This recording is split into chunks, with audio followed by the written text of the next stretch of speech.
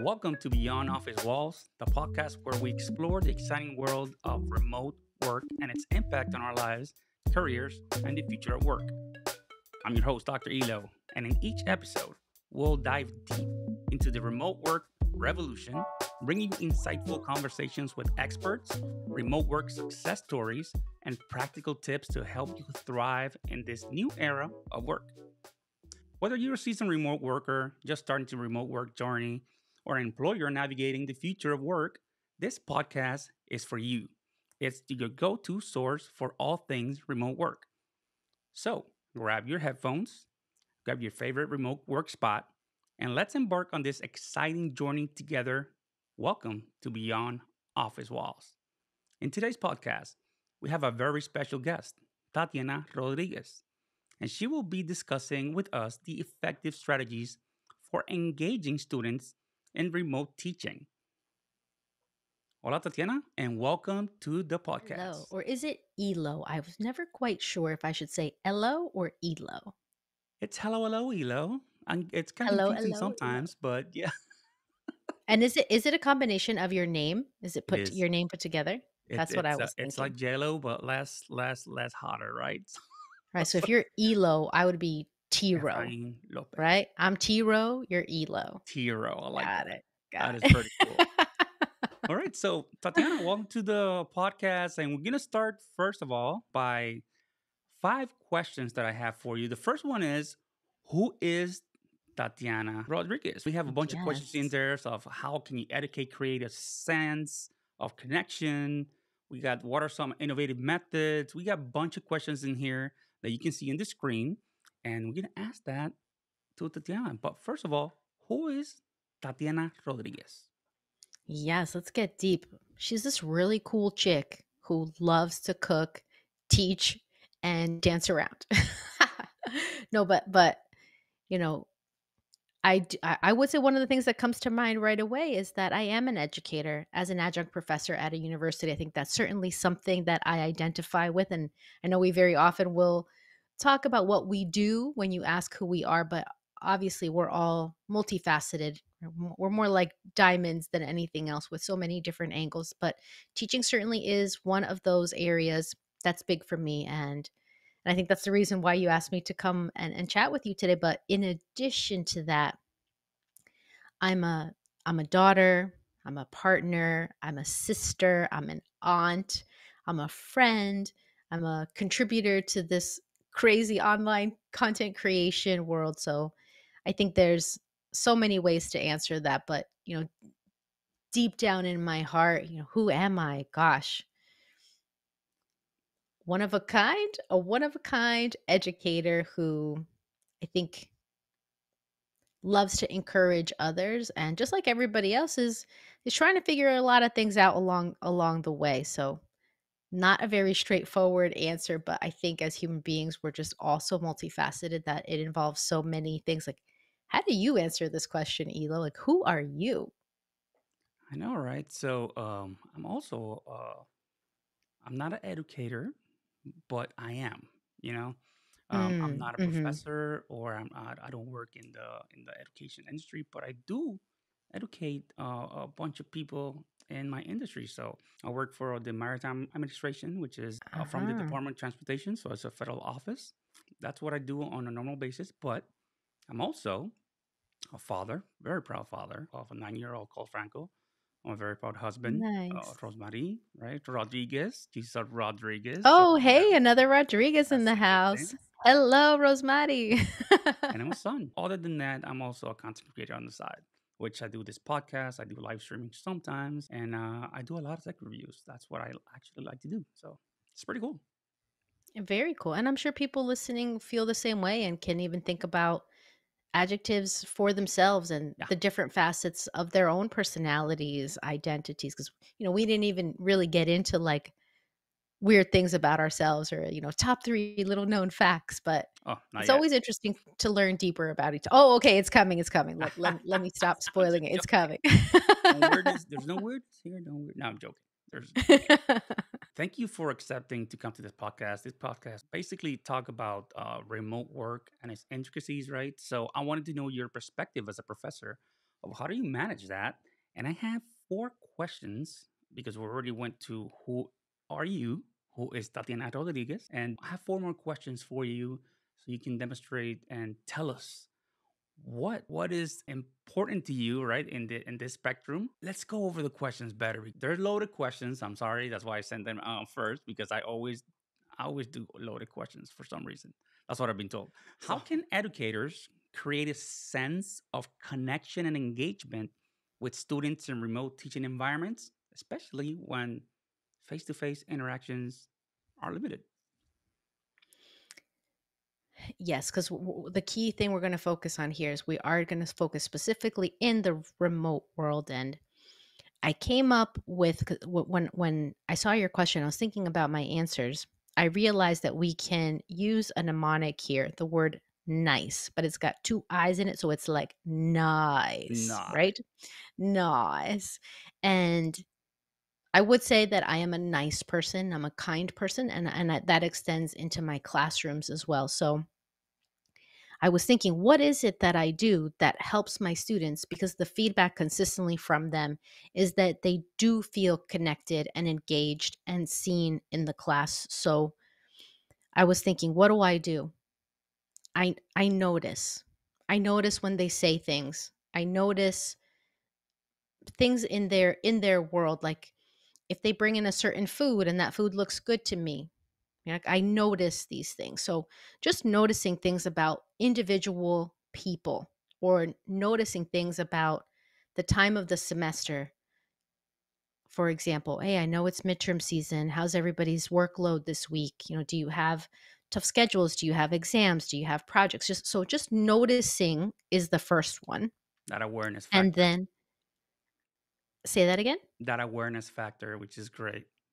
Yes, right? So noticing or having that awareness factor. And then the the I, the first I is for inquiring or inquiry, which means then I ask questions because it's one thing to notice, it's another thing to say something. So I will inquire, make sure that I'm asking a lot of questions because you know, genuinely interested in in what's going on. And the second is include people. So the opposite of excluding others. So I'm very conscious to make sure that I am creating an environment in the classroom where the students feel comfortable wherever they come from, whatever year they're in, whatever major they're in, whatever whatever's happening in their lives, working to create a sense of belonging, a sense of inclusion, a sense of acceptance for who they are right then and there in the classroom. So then that's the second I. And then the C really stands for caring. Like you have to care. I think everybody who's ever had a teacher that was good to them will say, and this could be in high school, this could be in college, this could be in elementary school, this could be a coach, this could be an instructor, eh, you know, anybody in your life, you know the difference when somebody cares about what they're doing and when they don't. And you certainly know the difference when somebody cares about their students or they don't. And so, caring, which comes naturally to me, and I think to so many people as educators who actually care, and and I do, and I feel like that comes across clearly. And then the E, the last part of this nice mnemonic here, is that then I express those things to them. Right? It's it's not just the feeling, it's not just the thought, it's not just the intention, but I communicate my values to them.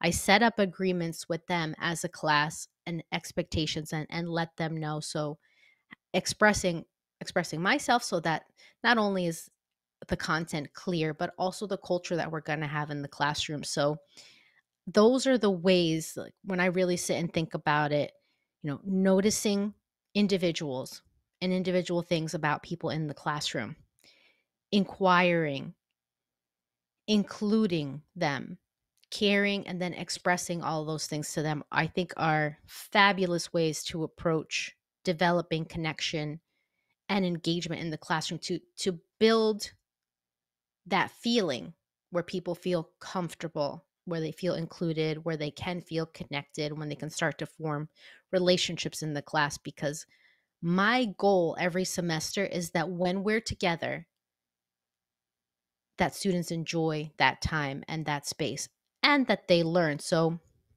my my, my philosophy around classes is that they need to be meaningful they need to be active right interactive and we'll talk a lot when we discuss more specific techniques and things but that there's a lot of active learning that there's technology enriching the classroom experience because i love technology and i think that it can be so fun and so helpful and then that it be enjoyable like i was saying before you know that people really are having fun feel like they belong there and that we're building that that sense of community so i think those are the the foundational pieces that i put into place in my college classrooms that is amazing that's you sound like an amazing professor because um, back you. in the day you know there was uh, when i went to college right uh, when i when i got my probably when i was in bachelor's degree uh, getting my bachelor's um, it was hard. Like uh, um, at mm-hmm. least in Puerto Rico, you know, um, there's colleges that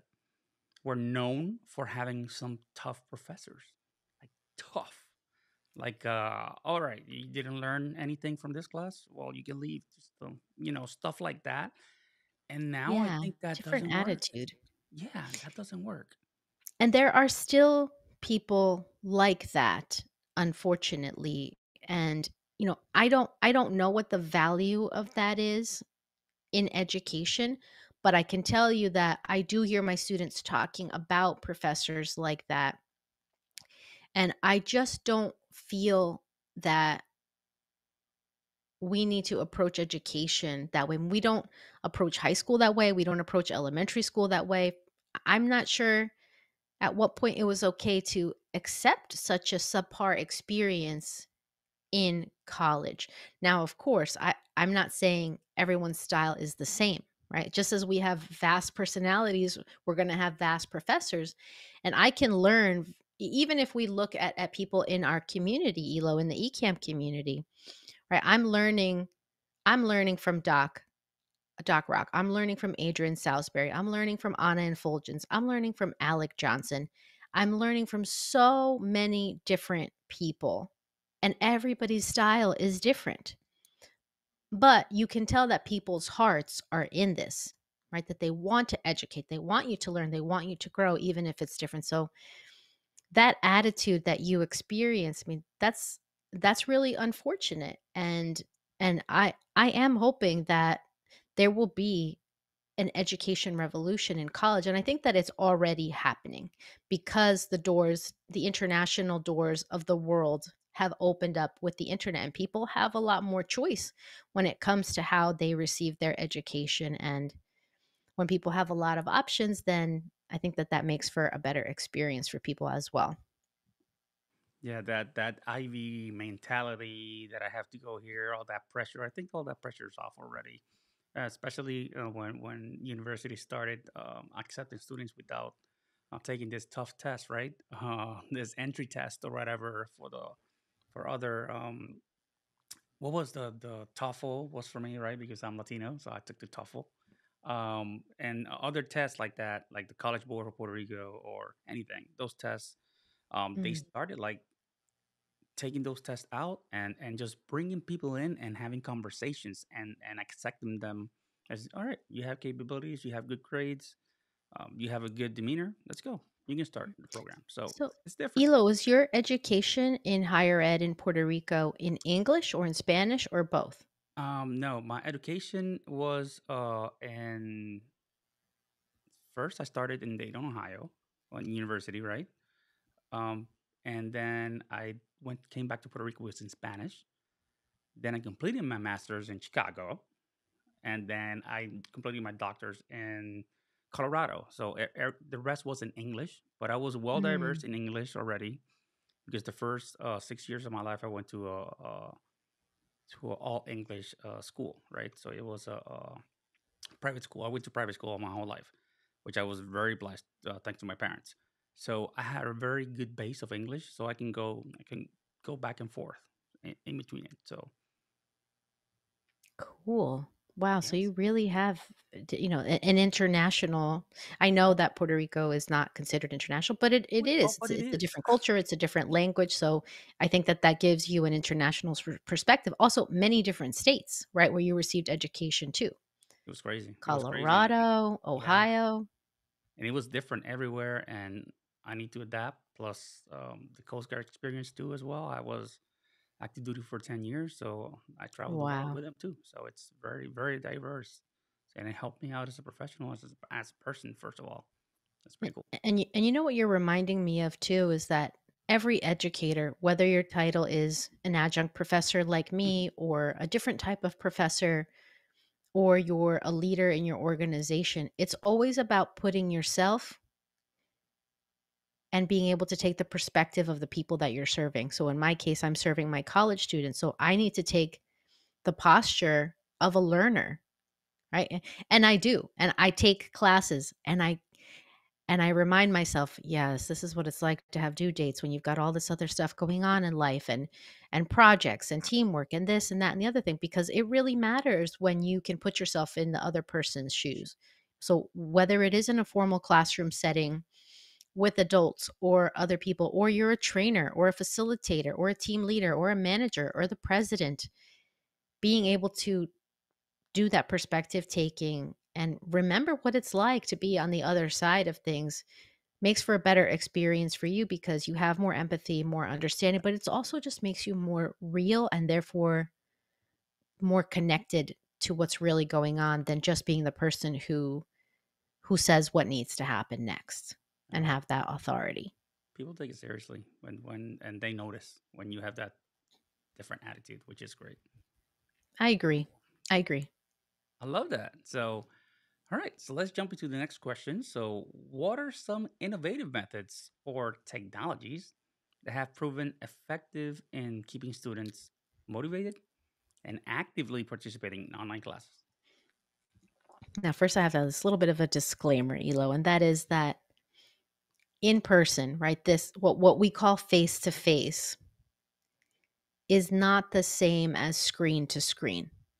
It's it's just not the same, right? We don't we don't have i- i- dimensionally it's it's not the same, right? We have these these rectangle spaces when we're on whereas in person we have the whole body. We have a three-dimensional person in front of us. But even though they're different, they're still real, right? Some people may or may not agree with me, but for me, my online classes are still live. So people are still there in real time. And that is different if the classes were asynchronous, meaning they're pre recorded and people do it at their own pace, which has its value and its place as well. But in my experience teaching, it's live, it's interactive. Therefore, there are people who are there. So it's still real. Screen to screen is still very real. There are still people showing up with you all at the same time. So just wanted to lay some of that groundwork. And it is not easy to keep people engaged in a classroom when they're right in front of me, much less when they're looking at their screens and their cell phones and I can't see any of that stuff. So we just need to acknowledge, first of all, that the task is much greater. It is so much more challenging to keep people's attention online, which is why I think breaks is one of the most innovative things we can do and letting people know when those breaks are. So my students know that between this time and this time we have a 10 minute break. Go and do your thing. And of course, they also have the freedom if they need a break before that, they just take it. But being considerate of the breaks that are needed to disconnect from a screen I think is is a I wouldn't put it in the innovative, but more in the essential category that people often overlook when it comes to remote environments. So that's the first thing I wanted to mention is breaks. The second thing are things like games, right? It's really, really important to do things. So I wanted to show you one of the ways that I will incorporate interactivity. Let me just get the the right screen loaded here. So so you're seeing on my screen it's it's a website called flippity.net. So this is if you go to that website, this is what the website will look like and there are a bunch of games. So please feel free to check it out. It's flippity.net, F L I P P I T-Y dot net and so if you're if you're able to watch this on youtube you're following with me on the screen if not i'll be sure to to guide you with my voice if you're in listen only mode podcast style so that you you feel like i'm still talking to you here so flippity.net is a great website with tons and tons of cool game options that are all links so you can create your thing so one of the one of the ones that i use is a, a, a, randomizer. They have one called a randomizer, and I created this board here. So in my public speaking class, I will give my students a line, a real line from a past student's speech, right? And then I will, the, here's the randomizing part. I just click this button. They get their next line. Boom, this person, that their line is everyone should give themselves a chance to fail. And then you see three randomizers here of emojis. So I spin all three. And the task is for them to say that line using a tone that is descriptive of the emoji next to it. So, Elo, for example, if you were my student in my class and you got this line, we would be doing a lesson on 3D speaking, which is including not just the words, but also the tone and body language. So I would ask you to give this line in an angelic tone because we got the angel emoji first. The second one is like the teary eyed one about to cry. And the third one is the emoji with stars in their eyes, so starry eyed. So you would, and of course, everybody laughs and feels a little awkward and uncomfortable, but it's low stakes, it's fun. I make sure students know the feeling that we're going for here and and also building in improv exercises like this where they don't have time to prepare is part of helping everyone get loose and comfortable with each other. So, oh, do you want do you want do, do you want to give it a try? Yeah. All right. So, let's go with number 1 was this angelical, right? Uh-huh. So, I can do angelical. I'm cheating. Oh my god, this is amazing. oh man, that's so good. That is so talk about a tool to be online engaging is being able to change your voice. Like that is super engaging. I need to up my game now. then I'll do a little bit of um let me see here, like um, I feel so sad. Oh my god. what is happening? And then I'll Man, you're rocking this activity. and I'll do like this is a special announcement. I am so happy, guys. Oh my God, this is great.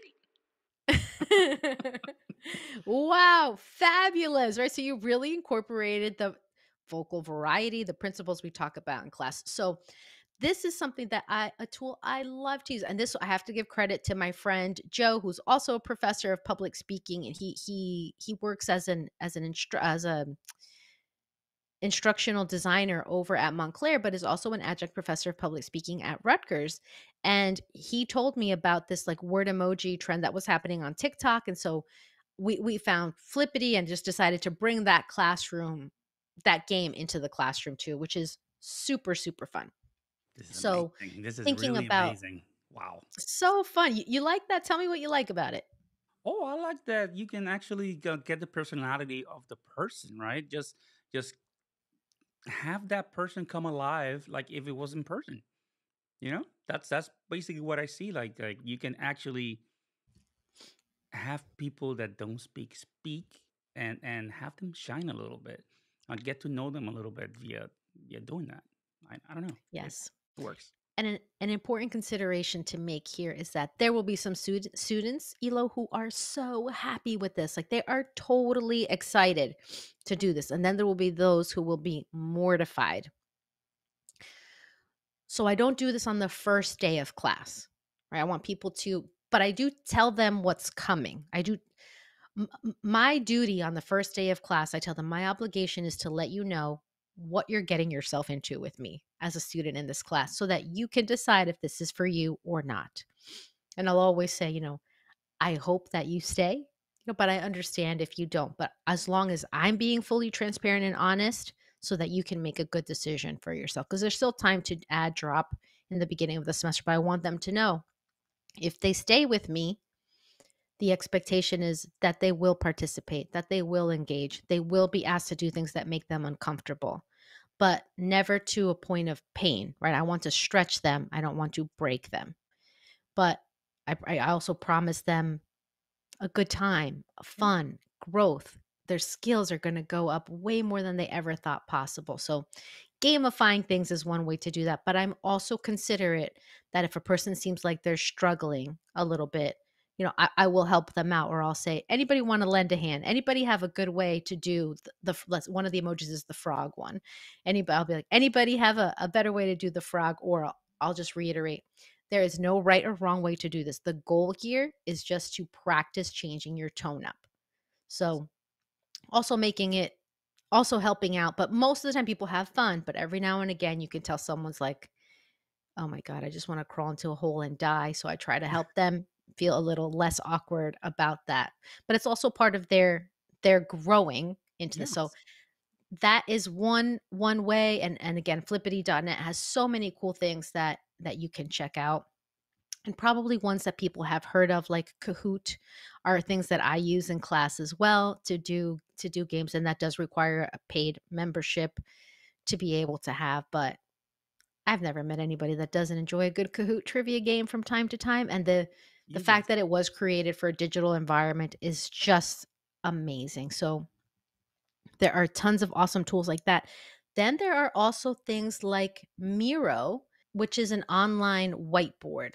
share this screen over here. So Miro, let me sign in.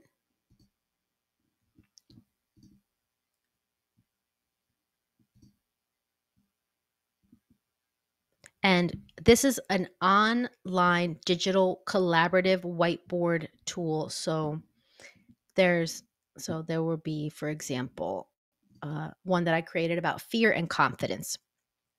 So asks i'll ask students to share and you make all kinds of things in here. So in this case asking people to anonymously identify what's your top speaking fear and then we'll do a lesson about fear versus excitement because they tend to manifest themselves very similarly. Like if I were to ask you, when you feel afraid, Elo, what happens in your body? What would you say? My hands start sweating. That's me. Okay. And sometimes people will also say they have an accelerated heart rate or they can they can feel their heart beating in their chest or they start talking a little faster, they feel short of breath. And then I'll ask them, and what does excitement feel like in your body? Bugs in my stomach, to be honest. My stomach gets all kinds of, oh my God. So, yeah. Yeah, and that's the same thing people fear when they feel when they fear feel nervous as well. That's something that happens to me when I'm nervous or excited. So the idea is once we identify that actually fear, nervousness, and excitement have a similar manifestation in the body, we have a conversation about that and how we can transform that nervousness is it's energy right? Our body's letting us know that something's really important to us. What we're about to do matters. So whiteboards can be used in an infinite number of ways and if we had more time we could go into but i just wanted to mention miro as one but that and this is a paid one but there's also google jamboard and this is a great way to get started in in the whiteboard digital space and this is free right? It's just Google Jamboard. You can just look it up, easy for you to find. And so if we, if I, uh, let me open up one here. So in this case, I, I set up some of these templates ahead of time and I'll have a student puts their name in each one of the columns in small groups. And you can even make it so that if they go to a particular frame like frame number one will be breakout room number one. So you give everybody the link but if you're in breakout room one you go to frame one. Breakout room two goes to frame two etc etc and you can have them answer questions in each sticky and give them prompts to be able to do that. So whiteboard activities with deliverables, meaning the students have an activity, the instructions are clear, you've gone over them, you release them into the breakout rooms, and then you give them something to do.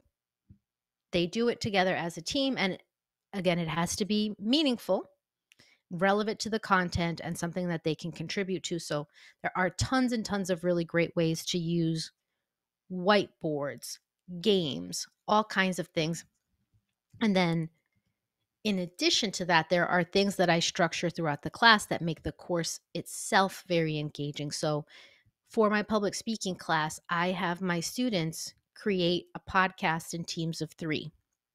Next Monday, coming up as we come to the end of the semester, they're going to deliver a live stream show that is debate style, where there's a host and two people on this side of the issue and two people on the opposite side of the issue and they're debating that and the theme is human beings versus artificial intelligence. Ooh, nerve wracking.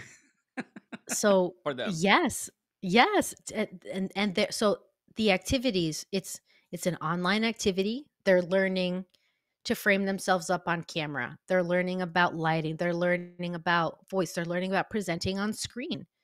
They're they're learning Uh, just the experience of going live and i tell them all the time use these things to build up your resume to help you stand out in interviews when people ask you what's something interesting that you've done or something unique about you or experience related to communication everybody's looking for strong communication skills in their candidates to be able to say i participated in a live stream in an online live stream and this was my role this is what i did. So just finding creative ways where the assignments in the course are in and of themselves engaging but they don't always have to be digital and high tech. Sometimes you can do something like asking someone to grab an object that's meaningful to them, and then you can do some prompts with that. You know, so grab something in your environment. Like for me, this is something that's near me, so I grab this.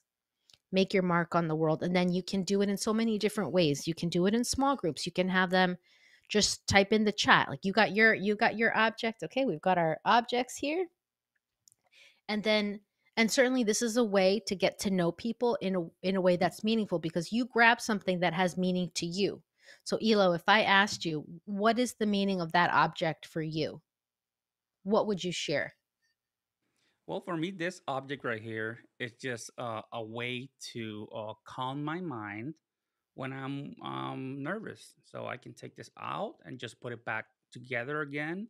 And it just helps me with the anxiety uh, of, of things. If I have a, like a tough day, I'll take a break and I'll take it apart, put it back. I have another one here, which is this little thing right here that I can just, you know, just put it here, put it apart, put it back in there, and just, you know, things that I use for whenever I'm I'm nervous, whenever I'm I'm overwhelmed because I get Mm, overwhelmed with a lot of projects at the same time. So stuff like that just helps me calm down. Um, and while I'm thinking about stuff that I'm doing, it makes me rationalize and and and sometimes helps me with empathy, to be mm. honest, because uh, uh, uh, some people don't have it, and I still need it. I work for the people. I work for the federal government, so I need to have empathy at all times. So yeah, works out. yeah and the beautiful thing about you sharing just off the top of your head something like that if you and i are students in this class I get to hear you be a little bit vulnerable about things in your life. And if anxiety, if overwhelm, and if you're human, you have experienced this, right? It's then you're hearing like, okay, it's okay to mention that and there are healthy strategies to go about that and this is how he does it. Like it starts to create that sense of realness and that humanity piece to it as well. And then everybody shares their item and something meaningful to them and you start to get to know people and that helps to establish more connection starts to build trust right one activity is not automatically going to create trust in a group but it starts to lay down the foundation that you know what i remember elo he talked about anxiousness and nervousness and he had some good strategies that might be something i have a conversation with him about one day or can can chat about like it just it just helps us feel more comfortable in our own skin and being able to have that that sense of connectivity in our teams in our spaces and in my case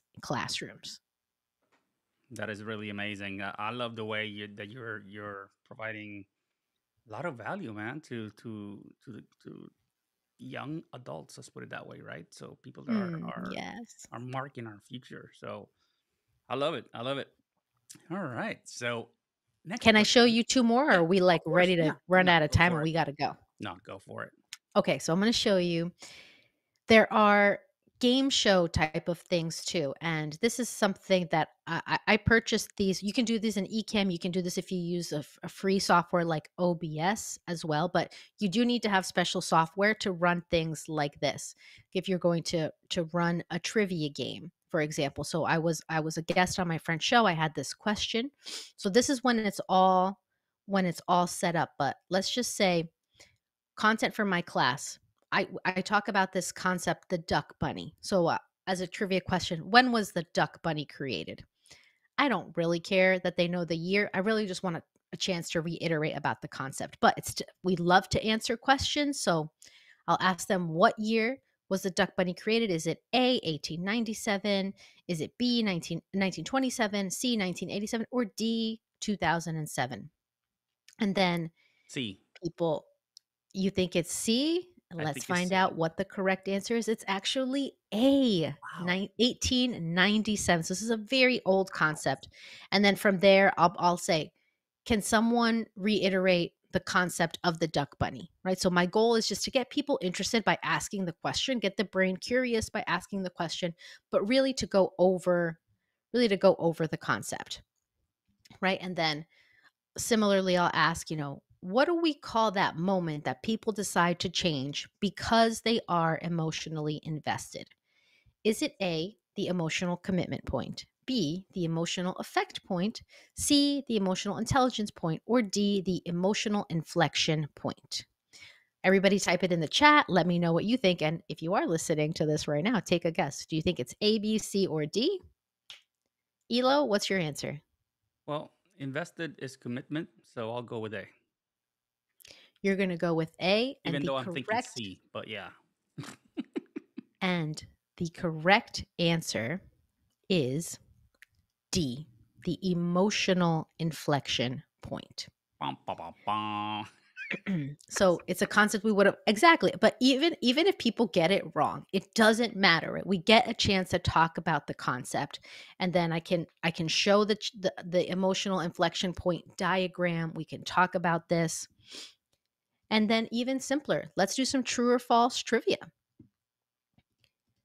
which one is true ethos is about reputation or pathos is about speakers' emotions. Which one do you think is true? Which one do you think is false? Two is true.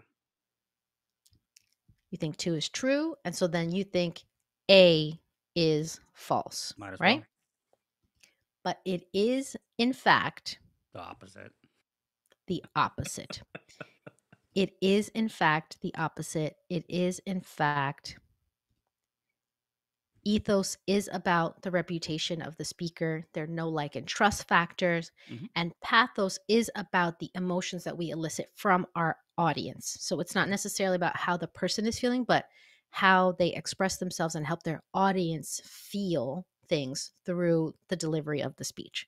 So, again, regardless of whether people get it right or wrong, we get a chance to talk about the concept in a fun way. One thing I will say when you do this is you have to build in the time for it, right? Because if you're just going to go question, answer, question, answer, that's faster. But if you want to talk about it, then you have to make sure that you're building in those time frames. And then, last question on average, what percentage of your content do people tend to remember on average? Is it A, 60%, B, 45, C, 25, or D, 10%? What does everybody think? Guess it in your mind, guess it out loud, whatever you like. But what percentage on average do you think people remember? Let's put it this way What percentage of what Elo and I have said today will you remember after listening to this episode? Well, if I am uh, after this amazing episode, it's ninety percent. But let's go. As a matter of fact, the correct answer is D. I kind of Neuroscience shows that we, now it does depend, right? But it does depend. Sometimes it's more than 10, sometimes it's less than 10. But on average, we're only taking away about 10% of what we're hearing from others, which means since my students are human and I'm human too, this happens to me. They're only taking away about 10%. And the goal is this is the research according to Dr. Carmen Simon. Are we making it so that people are remembering the 10% we want them to take away? Or are we just letting it be totally random? So, this is something that really stuck with me and is a powerful tool that I teach my students because it applies to all of us when we're teaching, when we're training, that in general, people are only going to take away a small percentage. So, what increases the chances that they're going to remember? If it's fun, if it's engaging, if they participate, which is why learning in an interactive style is my favorite way. And this is what I love to teach and help others incorporate into their content as well is this interactive active learning style engaging strategies to be able to achieve that. So these are just some some examples of ways that we can engage engage people with trivia and questions and getting that brain curiosity flowing. No, i love it. I love it. This is really amazing. Especially um i think it would be higher, but that's just me thinking. If I will remember more if there's visuals like this, right? The things that you're doing, I think, uh, uh, I don't know, for some reason, it's they stick more than just listening. So if you're Right. listening to this podcast, you should go and watch it so you remember more. Absolutely. Come check us out. At least get curious and you can see like, oh, what do these people look like? I know, right? what do these what do these questions she's talking about look like? All right. So next question, we got two more. In what ways can remote teaching be personalized to cater to individual learning styles and preferences, enhancing student engagement and understanding? In some ways, we've talked about it when when we're we're, uh, we're sharing like thinking about who your audience is. So thinking about my particular group of students, they're college students. Not so helpful if everything that I show them really caters to 46 year old women like me, right? I've got to create content supporting materials that are relevant to their age group. And that means I need to ask, like, and find out more about their lives and things. So it makes a little more sense to use musicians that they're familiar with and excited about than only talking about the ones that I'm excited about. So I think personalizing it to the audience as a group while also adding little personal elements throughout. So, for example, if there was something memorable that happened in one of my classes, in a subsequent class, I'll mention that and having the opportunities to link things from one moment together, another moment together, really adds for personal experience.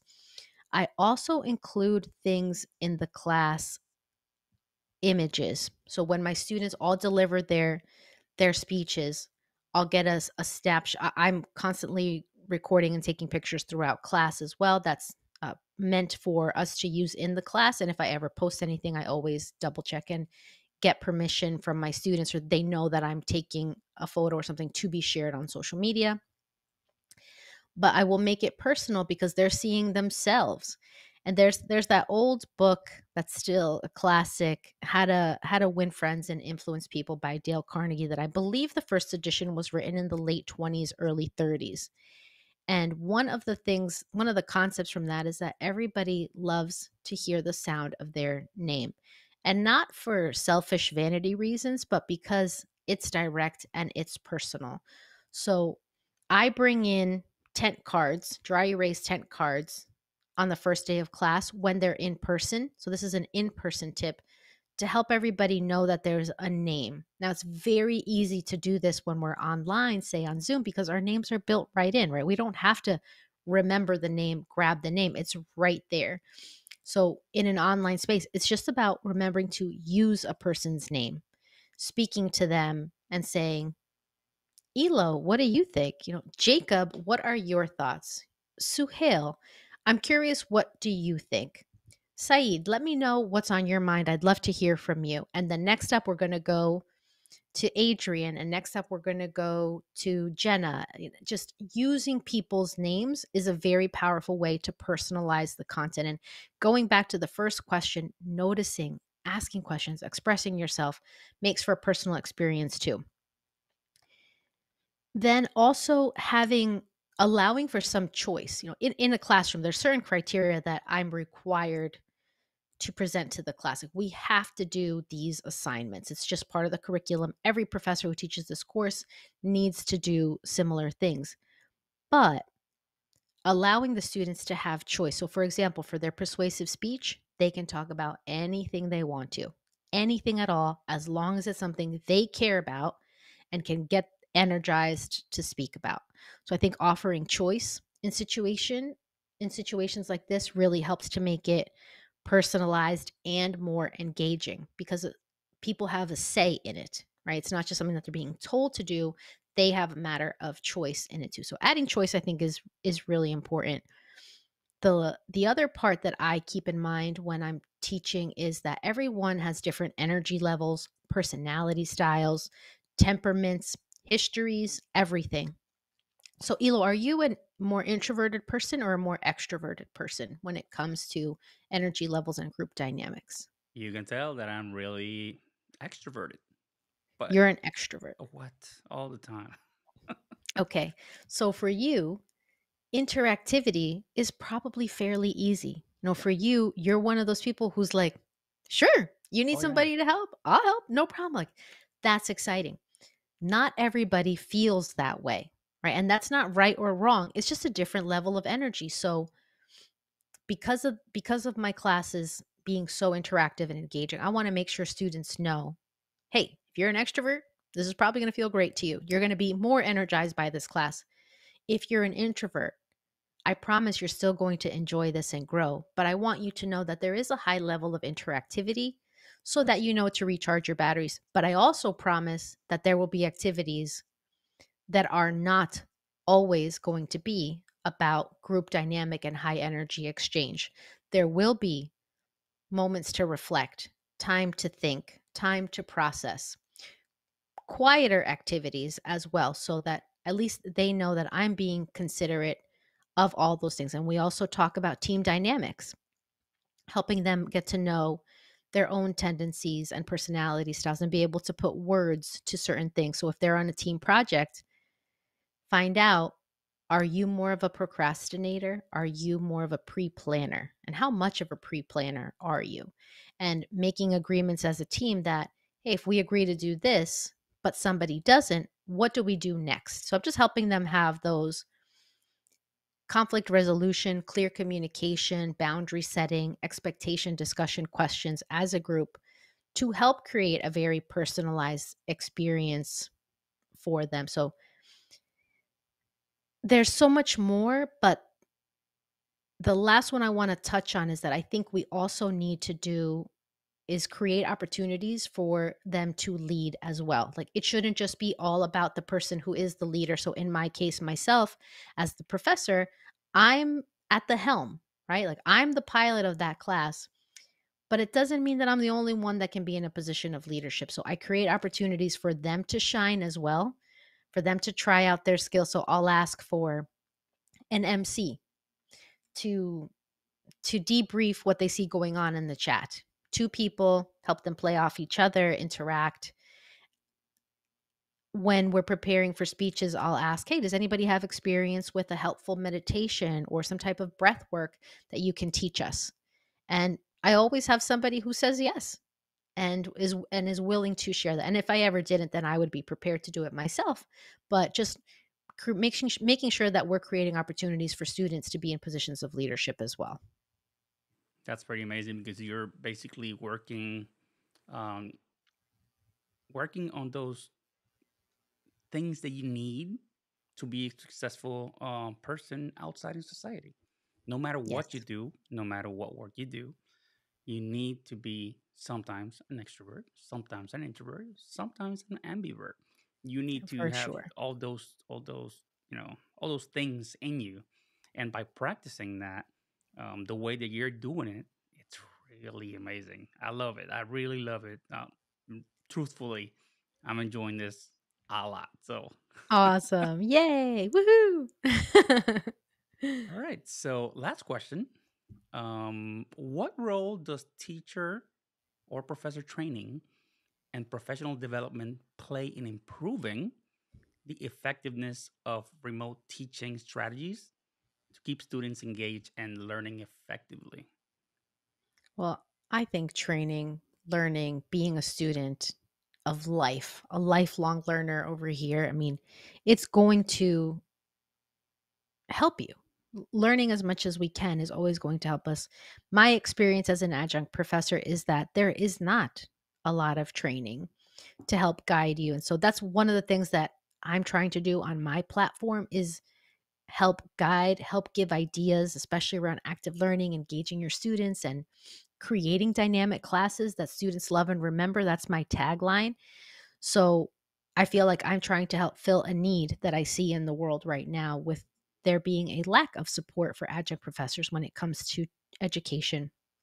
But also at my university, there are departments that are there to help us, such as th- there is a department with instructional designers that's called Teaching and Learning Through Technology. And they will work with professors to help them set up their content, set up their class. They usually have great ideas for for how to set up the the learning management system so that the program that will be the interface between students and professors and assignments we also have uh, an uh, an an office of teaching evaluation and research that offers training and workshops so 100% taking advantages of all the opportunities that your university offers or that other universities offer for free. I mean, when when we all went to emergency remote teaching during covid there was a school of social work that offered free training to anybody and i signed up for every single one of their things right? I'm not in the school of social work. I don't i'm not even in the same state as they were but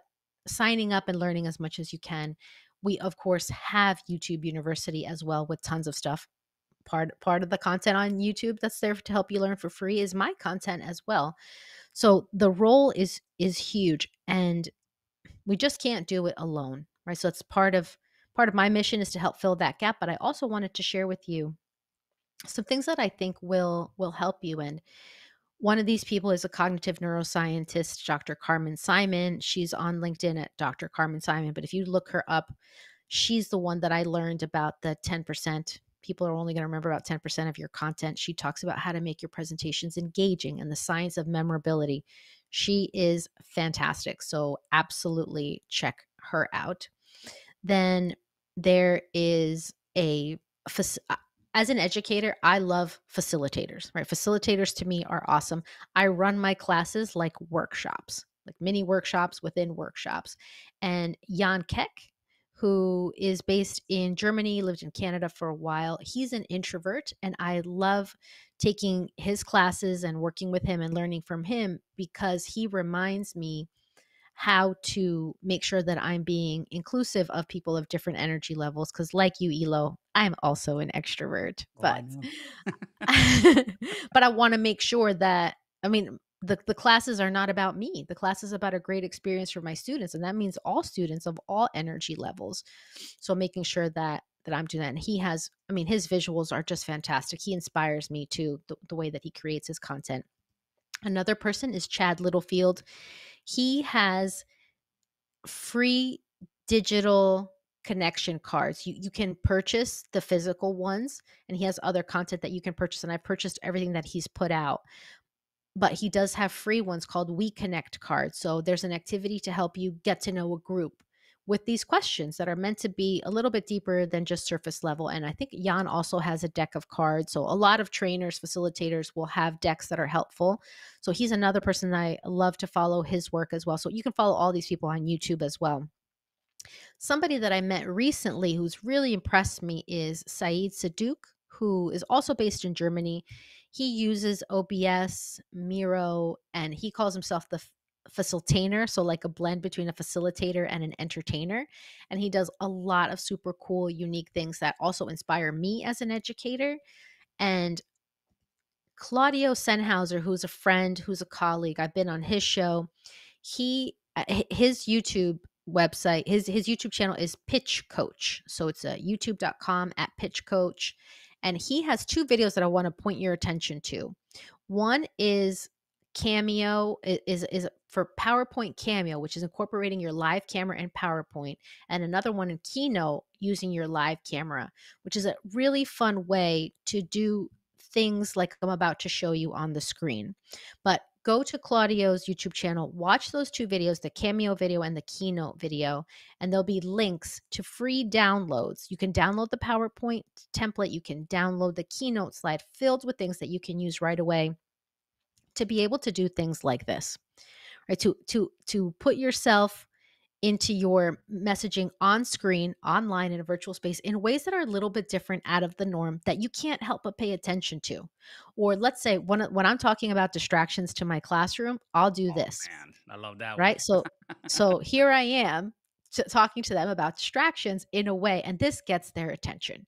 100% gets gets their attention. So again if you if you check out claudio stuff he has free links to i mean I, I can't even remember how many slides he created to help everybody so it's a lot so i do encourage you to check that out and then there are websites like sessionlab.com they have a, a great library of content for all kinds of activities that will help you too in in figuring out how to engage your group stay connected. So there are just amazing resources. And then one more website that I want to share with you is from Dr. Barbi Honeycutt. She has a podcast called Lecture Breakers.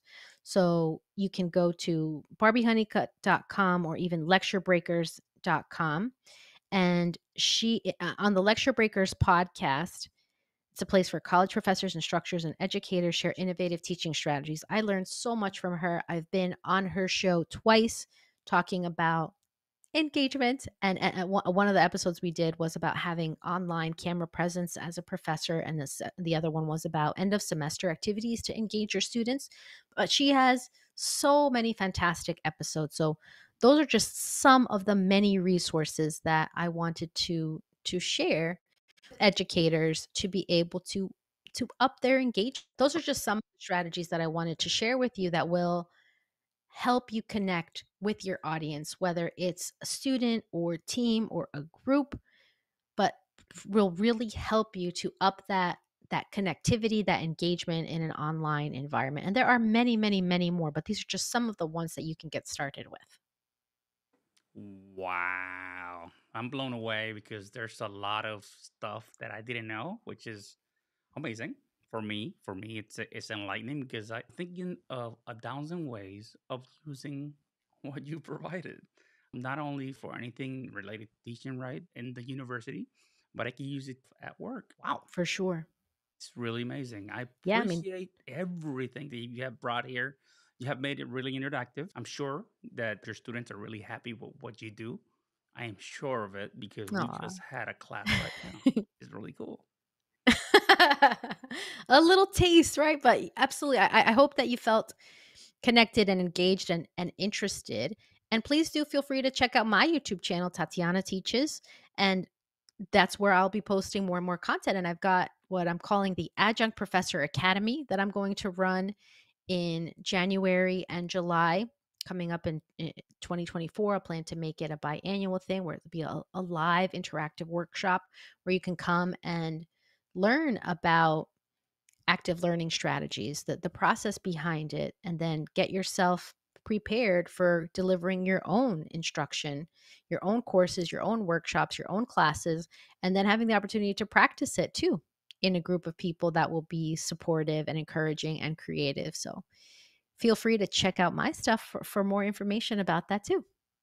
Amazing, amazing. I'm I'm super happy. I'm super pumped that, that this podcast for me one of the best podcasts I've had. I'm just I'm, I'm saying I'm just saying, guys, whoever one, two, three, and four, you need to up your game because this podcast is gonna break the internet. So awesome. thank you so much. I appreciate it. Oh man, I'm excited. I'm gonna listen to this again while obviously while I edit. And I'm gonna take some notes, try to incorporate those things, those pieces of technology that you have and you provided, and obviously the tips. Nice as well. So all Mm-hmm. those tips, put them into practice. Thank you so much for taking the time to come in here to the podcast. And uh, yeah, you have any last words before we depart? just want to say what a pleasure it is to talk about one of my absolute favorite topics and i i want to highlight underscore that the most important thing above the technology, above any game, above any whiteboard, is to let the students know that you care and you're there to help them grow.